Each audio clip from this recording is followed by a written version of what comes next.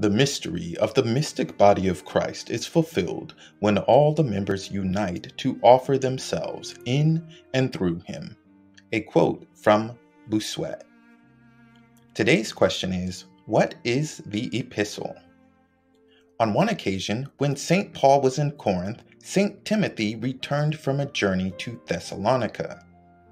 The Christians in Thessalonica are well, but they ask for more information about the second coming of Christ. Very well, I'll write them a letter today. Such letters of instruction and guidance were written by the apostles in the early days of the church. They were read to the Christians just before the holy sacrifice was offered.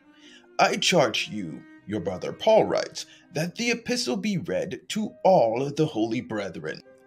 At first, letters from all the bishops were read, but this was discontinued during the 3rd and 4th centuries. It has been decided to read only from the approved scripture.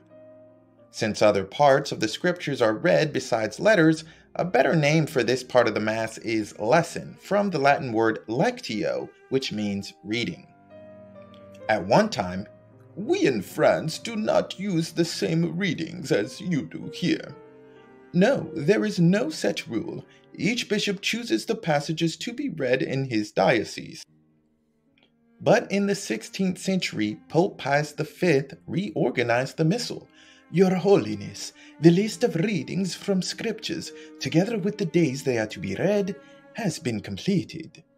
Good. From now on, these will be the lessons read in all the churches. This has been a Catholic fact from sdcason.com, the free Catholic image gallery.